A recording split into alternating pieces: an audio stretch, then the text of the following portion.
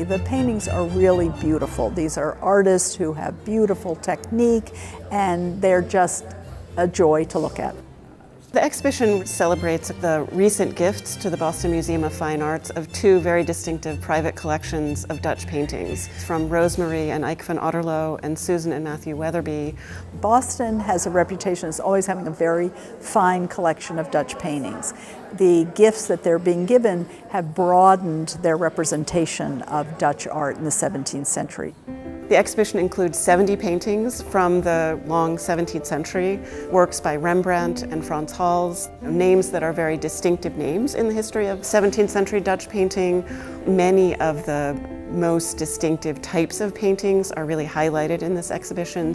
Early incredible portraits by Rembrandt in his first years in Amsterdam. There are also paintings that we now call genre painting that are really about storytelling and many of those stories are funny stories, they're moralizing stories. Everything from beautiful portraits to landscapes to images of church interiors, cities, still lifes, a great variety of types of paintings. The Netherlands in the 17th century was just forming. It was becoming an independent entity. It's a very distinctive moment of growth. Amsterdam took over from Antwerp as being the major port. There was a growing, very wealthy merchant class, so they could afford to commission portraits. The 17th century is equated with the style we call Baroque.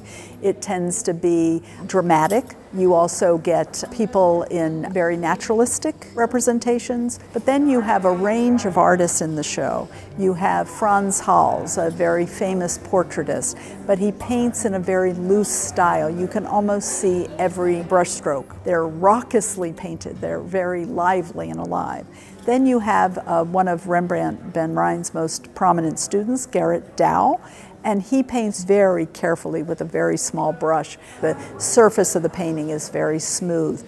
The wonderful thing about this exhibition is that it shows not only the status and the position of painting in the 17th century Dutch Netherlands, but it also really shows off the various aspects of Dutch life and history. This is a nice complement to St. Louis Art Museum's own collection, which Dutch painting is quite small.